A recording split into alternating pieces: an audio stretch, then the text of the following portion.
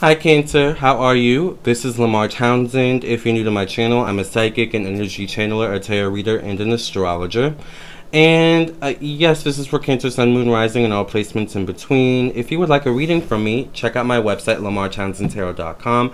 I am available for personal readings, and I would love to read for you. This is my website, so once you've reached this page, you know you're on the right page, lamarrtownsendtarot.com. Become a member of my Patreon. Check out my Twitch. I do monthly horoscopes there. Check out my YouTube, my Spotify, which is my podcast, also available on Anchor, Apple, and more.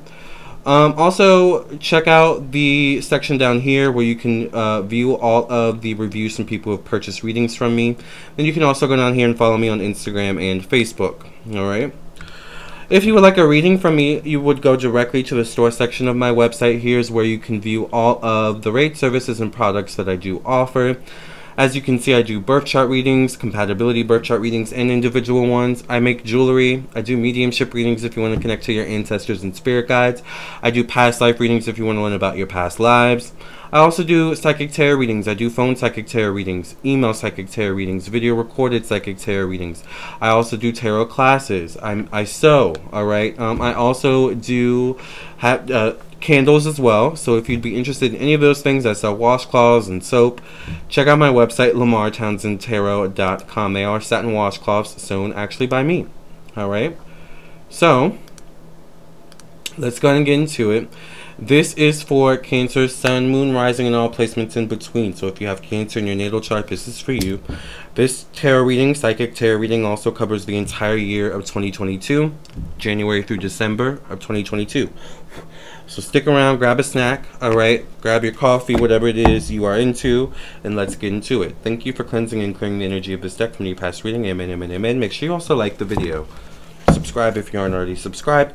This sage smells so good. Thank you for cleansing and clearing the energy of this deck from your past reading. Amen, amen, amen. So we will pull a final card at the end. So we will put the final card deck um, to the side for now. Alright. And we're going to go ahead and see what's in store for the Zodiac sign Cancer for the year of 2022.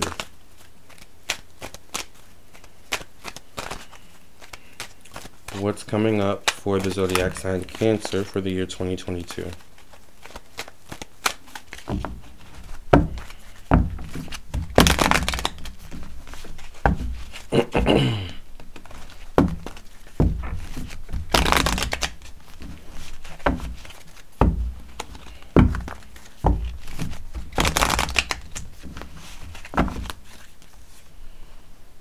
The first card I get for you, Cancer, is the Five of Pentacles.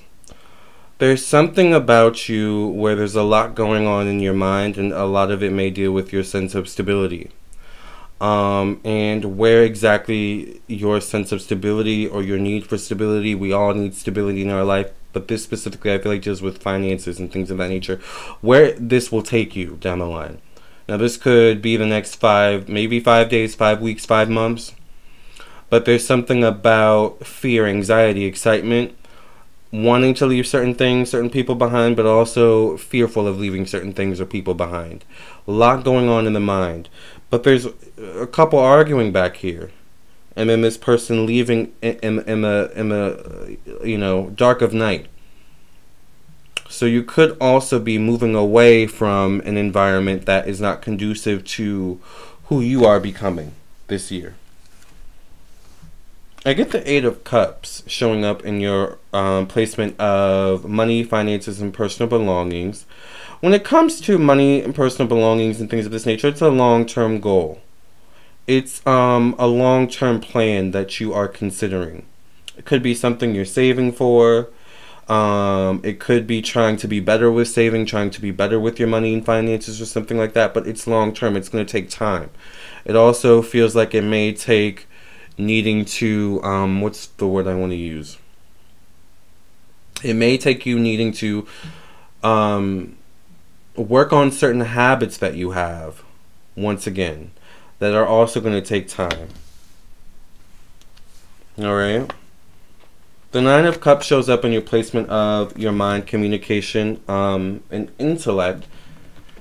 There's something where this year there is a strong you have a strong mind, I think, and there's something where it's possible that you could be making some decisions that it's it's all about you this year.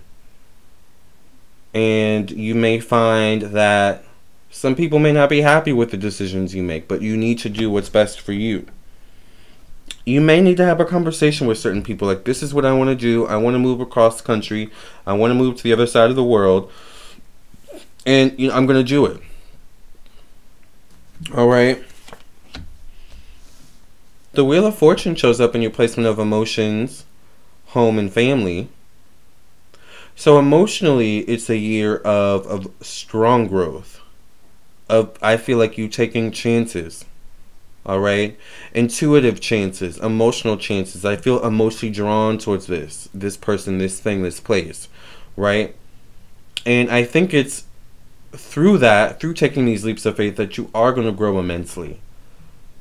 It's kind of like the energy of if you've ever been to college, that first year, that freshman year when you first move in, it's like a big leap of faith, you know, but it's through the journey of completing it that, you know, the growth comes. The getting there is just the start, right? The taking that leap of faith is just the beginning, the tip of the iceberg. The star card shows up in your placement of emotion, or not, I'm sorry, not emotions, of your sense of creativity, self expression, your vitality for life and energy in your romantic life. This could be, you know, a very strong energy in terms of you being a viable candidate for something, whether it be a viable candidate for, uh, you know, someone that uh, fancies your interest or vice versa, or an opportunity in some way, shape, or form. This could also you be you being very strongly connected to your life purpose this year, or getting more strongly connected to your life purpose this year.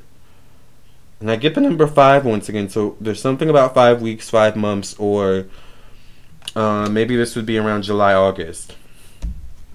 All right. Summertime could be prominent. Judgment card shows up, which to me is always like a, an answered prayer. This shows up in placement of your health, daily routine, work, and job.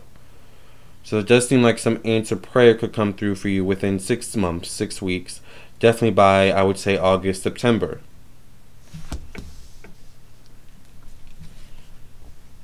The Justice card shows up in your placement of one on one relationships and business partnerships. So there is going to be a balancing act between you and how much you're able to give to others. And I think there's something about in that balancing act, you may like have to let go of d- certain dead weight, but whatever you're willing to keep around or whoever you're willing to keep around, there does need need to be um,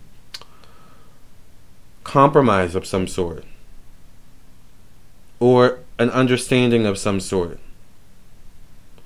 Um, there's going to be a focus on balanced relationships, reciprocation as well this year. Friendships, business partnerships, lovers that, that reciprocate, where there's balance. Because I think you've reached a point now where you no longer are willing to invest in that emotional topsy turviness that sometimes people can bring into your life, right? From the past. I think change for you this year is is patience though. It's going to involve patience. It's a little bit of a waiting game. Time is on your side when it comes to these energies, all right, Cancer? In 2022. Change is coming, change is happening. You are transforming, but it's going to take time, all right, at the same time. Keep on the track that you're on. Keep hitting the hitting the pavement running. Keep being consistent. The world card shows up in your placement of travel, home, education. All right, investing in new skills. So this could be, you know, some new skill, talent, um, capability that you have that allots you the opportunity maybe to travel, right? Or this could be once again you you moving. I keep getting moving. All right taking a leap of faith, saying, I'm just going to do it. Maybe by the end of the year, it could be not, nine months into the year, by the end of the year, around November, December. But um, really good energy around you so far, especially in terms of you taking leaps of faith once again. All right.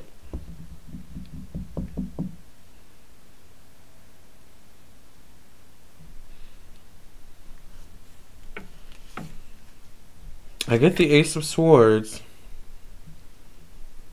There's a strong knowing of where you're heading connected to your career and your professional life by the end of this year. There's also a strong knowing, understanding, and appreciation for your past as well. Enlightenment, I feel. Or I hear, I think I heard Spirit say enlightenment. Which is interesting because the Ace of Swords can mean enlightenment. Alright? But I feel like enlightenment that comes from your past experiences that by the end of the year you will have closure on certain things and there's a better understanding of certain things. Why you acted the way you did or why you even invested in certain things the way you did. I think things come full circle all right?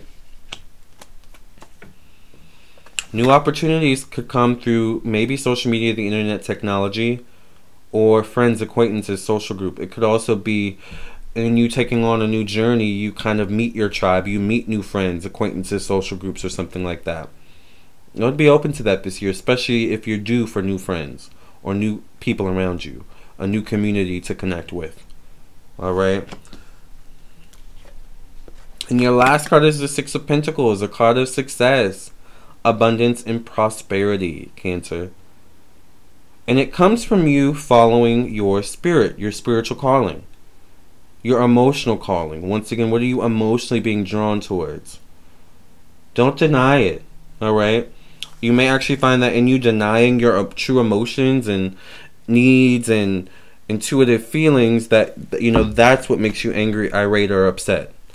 Because sometimes it can be, you know, so much that you don't want to leave your comfort zones because it's all you know, but you're looking for more internally and, you know, that dichotomy, that contradiction can cause friction, all right, in some way. All right, so let's go ahead and pull a final card for you. This was a good reading, Cancer. I really like this for you. What's the final message for Cancer? Remember, if you guys want a personal reading, I am available on my website, lamarrtownsendtarot.com. Oh, this makes sense. I love this for you. You got the sensitivity card. It says you're becoming more sensitive and need to make changes accordingly. You most likely will experience spiritual ascension symptoms this year as well, as your spiritual body uh, elevates and your physical body has to elevate to that same frequency and vibration. That's where the sensitivity comes in, you know, and the psychic awareness comes in, all right? So take care of yourself. I think once again, in you following your spiritual journey, you also find your tribe, your tribe of people. So good for you. I love this for you, Cancer. I'm so happy for you. Remember, if you want a personal reading, I am available via my website, lamarrtownsendtarot.com. Thank you for listening and watching, and um, do not hesitate to reach out for a reading. I'll see you in your own personal reading. I'll see you in the next video. Either way, I will see you soon. Love and light, God bless, and have a great year, Cancer. And don't forget, you can come back and view this video throughout the year whenever you need to watch it. Until the next one.